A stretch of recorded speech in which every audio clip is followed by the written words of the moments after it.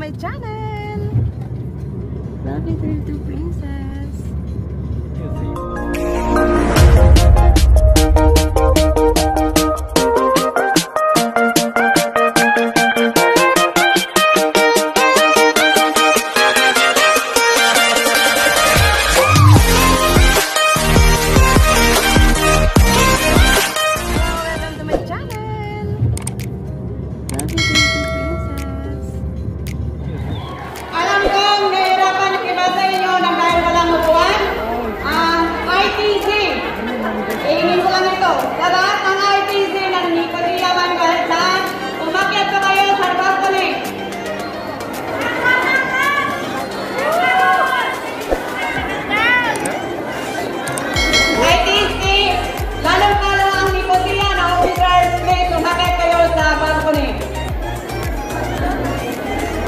Eh, gusto kanilang makilala full face.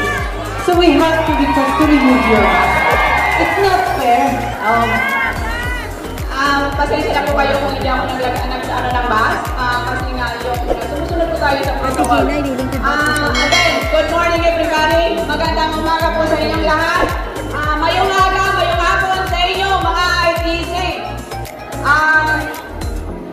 Nandito ako para magpasalamat sa bawat isa sa inyo. Kung hindi ko man kayo mabanggit, alam kong iba sa inyo na-absent na dahil walang upuan. Ma hahanapan po natin ang paraan yun. I really apologize for that. Dahil sa na, maraming humabol. Maraming nagano sa inyo. Nang dahil lang makita si Welda sa beach. Woo! Sana! Sana siya!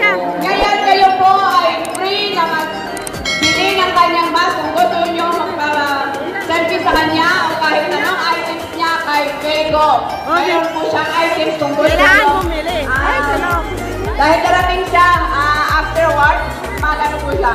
So, Kailangan bumili. thank you so much. Ay, bili Ah, mula sa bawat every single, every single sa inyo. Sa bawat city na nagpunta dito at saka sumuporta sa gala event na ito at saka live pageant ng ITC. First ever ninyo. Sino naka-experience ng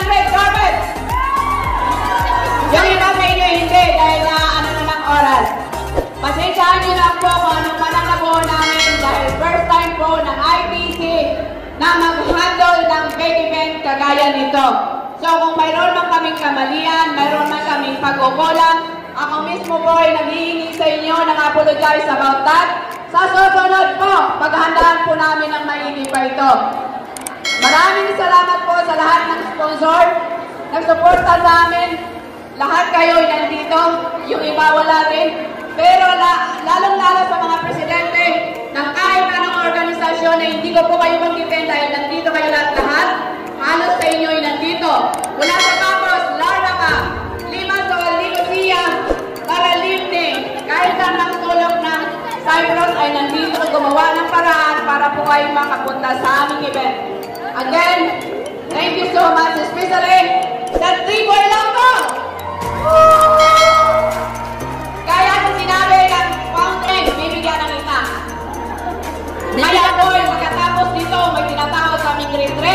Dahil doon namin sila babanatan. Pero at the end of the day po, kami po ay nag-isa. May unity po kami lahat. Kahit saan man na city, pagpagdaan man kami sa, sa ano namin, sa kahit anong group chat namin. Pero nandito, Ilonggo pa rin ang nangangingibabaw sa bawat isa.